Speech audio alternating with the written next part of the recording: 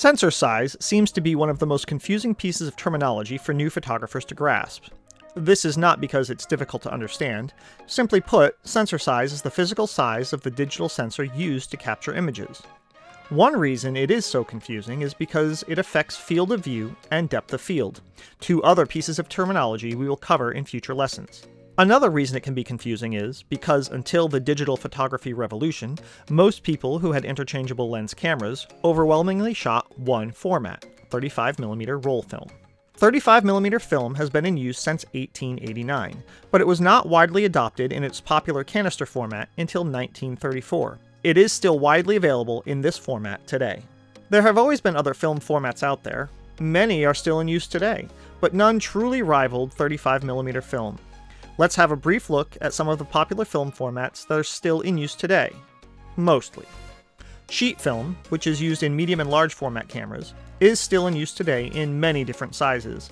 The most popular is 4 inches by 5 inches. We'll next discuss two formats, simply because they're essentially the same 120 and 220. 120 was originally introduced in 1901 for the Kodak Brownie. 220 was introduced in 1965. It is the same width as 120, but double its length, giving twice as many exposures. Additionally, 120 has a paper backing while 220 does not have any backing paper. This allows 220, with its double length and double exposures, to fit in the same size roll as 120.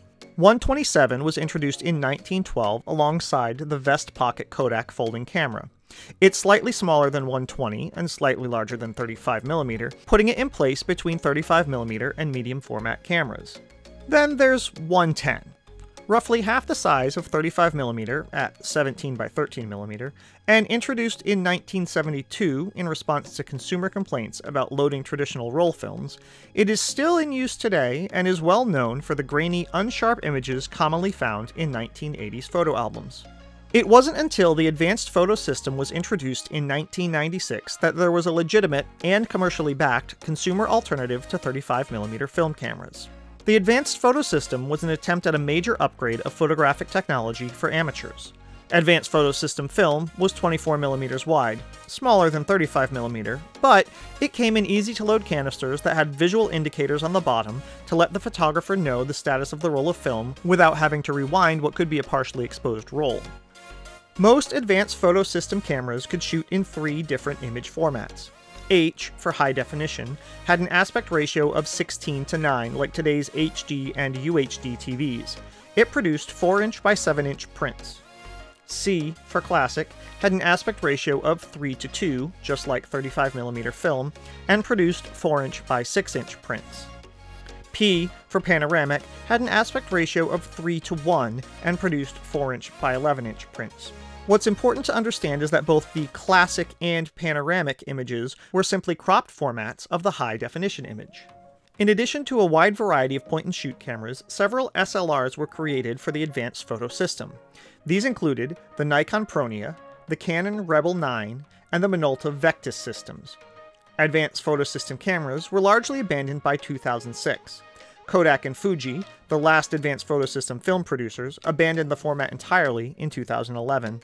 The decline of the advanced photo system was due largely to the growing popularity of digital cameras and the lack of adoption by professional photographers. So why the dissertation on film sizes, and why so much focus on the advanced photo system?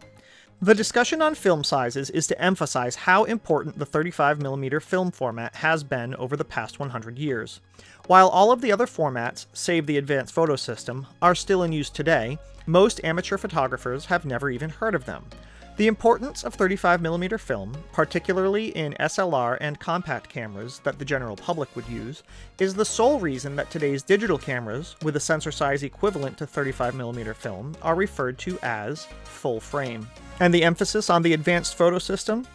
In case you didn't notice, the initials for advanced photo system are A, P, S, and the classic format was commonly referred to as APS-C.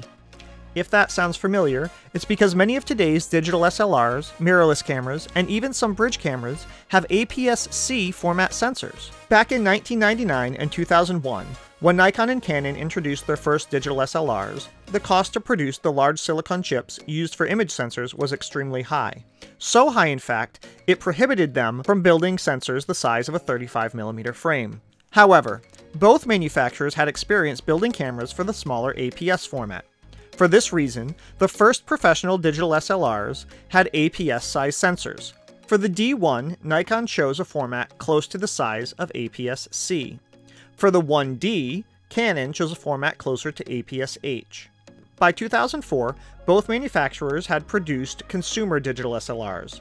Both the Canon Rebel and the Nikon D70 had APS-C size sensors. Canon held on to the APS-H format for their professional D1 series until the 1D Mark IV released in 2009.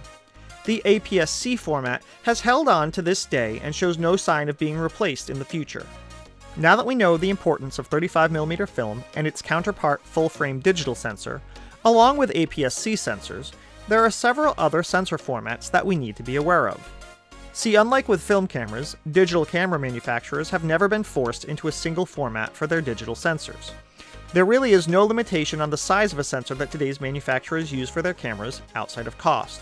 For this reason, there are far more choices regarding sensor size in digital cameras. Most camera manufacturers today are using standardized sensor formats that were derived from common film formats.